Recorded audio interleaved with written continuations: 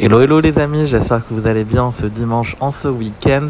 Je pensais pas forcément la faire cette semaine, mais j'ai eu plusieurs demandes euh, via line de conseils sur les défenses. Donc c'est parti pour l'analyse du tournoi raid de la semaine à venir. Euh, J'étais pas hyper inspiré, donc euh, ça va être assez classique ce que j'ai proposé. Mon costume marche bien en, version booster de bonus, mais la deuxième version, bien évidemment. Super talon paladin qui fait qu'il résiste, il peut soigner ses copains à proximité.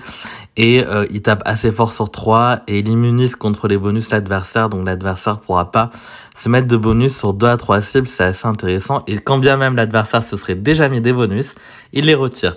Donc mon costume, c'est une costume 2, c'est une valeur sûre, que ce soit en tank ou sur les flancs ou sur le côté. Euh, j'ai pas eu le temps d'en monter un deuxième, mais si vous en avez deux de costume C2, c'est même intéressant d'en mettre deux, mais pas à côté.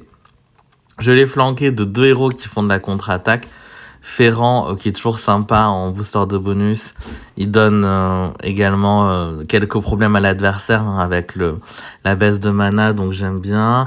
Et Asmia qui va soigner, qui va aussi faire de la contre-attaque, donc ça, ça me permet potentiellement de la contre-attaque sur tout le monde. Ensuite, sur les côtés, j'ai mis Vaddles, qui est un très bon héros rapide. Euh, ça donne un peu plus des dégâts et de, à ma défense. Puis pas très pénible, euh, parce que même si tu pas une cible, il va mettre attaque irréfléchie pendant trois tours. Et les combattants, il peut ressusciter, donc c'est très très très bon. Et ensuite, Tiburtus, euh, on m'a demandé est-ce que c'est intéressant de mettre Mido là très rapide? Moi, je trouve pas. Elle, tape qu'une cible en défense. Amétrine, on maîtrise pas sa charge. Donc là, j'ai fait le choix de mettre Tiburtus, valeur sûre aussi.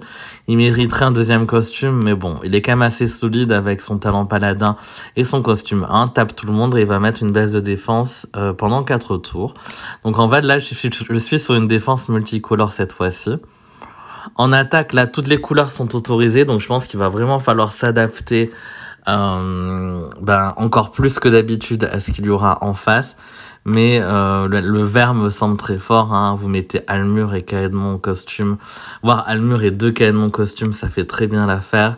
Et le violet me semble très fort avec... Euh, moi, c'est ce que je vais faire la plupart du temps, je pense. Sergei, Amétrine et euh, notamment Argès. Hein. Argès que j'ai monté euh, deux fois sur ce compte et qui fait très bien le taf. En plus, il peut mettre une... Euh, il résiste, il est très résistant, il résiste aux baisses de défense aux, aux baisses de défense élémentaires. Et il peut mettre une euh, baisse de génération de mana sur l'ennemi, donc il y, a, tout qui est bon sur Argès. Et ensuite, suite, c'est quasiment gagné.